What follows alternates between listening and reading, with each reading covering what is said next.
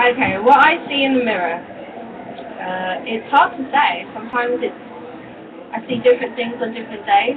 Um, all of them are part of me, um, but I think that sometimes I can like myself, sometimes I don't like myself so much. Maybe that's down to um, what we do and what where we look in the meantime.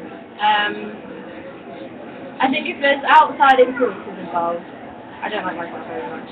Um, so I have to tell myself that uh, that I'm better than I think I am.